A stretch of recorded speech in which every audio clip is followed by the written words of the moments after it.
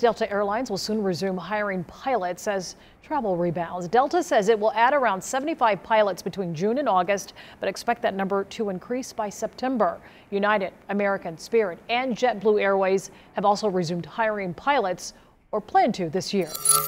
New at 11, a live look at Hartsfield Jackson International Airport. Conditions looking calm there tonight for anyone with a late night flight, but that wasn't the case just a few days ago.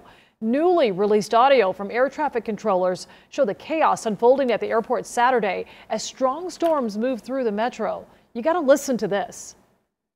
What's your wind speed? Winds are 230 at 29, gusting at 42. It's rocking pretty good up here. Hey guys, uh, everybody, the tower is evacuating. We're going ATC zero. All aircraft with tower is evacuating. Wow. Be safe up there. That is scary. Air traffic controllers were forced to temporarily evacuate the tower due to gusty winds. Pilots and controllers were able to resume normal operations after the storms passed.